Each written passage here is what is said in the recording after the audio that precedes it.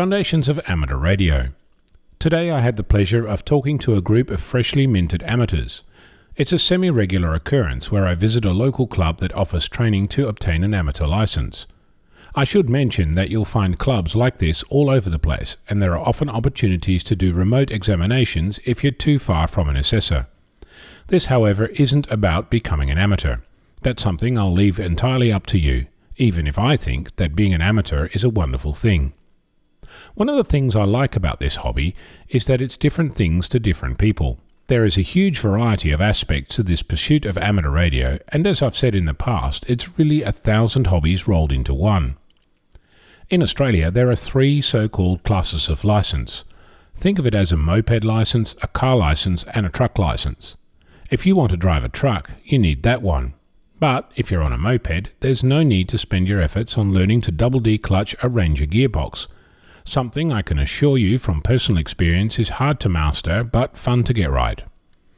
The three licenses in Australia, Foundation, Standard, and Advanced, each have different privileges, access to different but overlapping aspects of the hobby. One privilege within the class of license that I hold, the Foundation or F-call, is that I'm limited to using 10 watts. I've spoken about this restriction many times.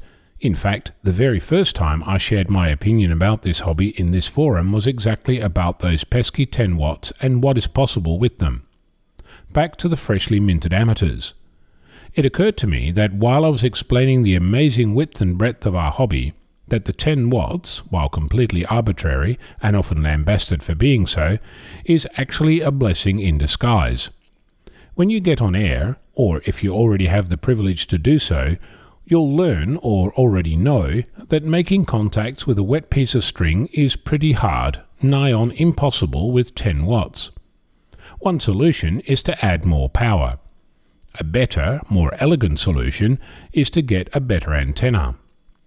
So the blessing in disguise that 10 watts represents is really all about forcing a foundation licensee to spend considerable effort in their antenna system, something which we might all agree on is a good thing, if only to clear the air of alligators, big mouth and no ears.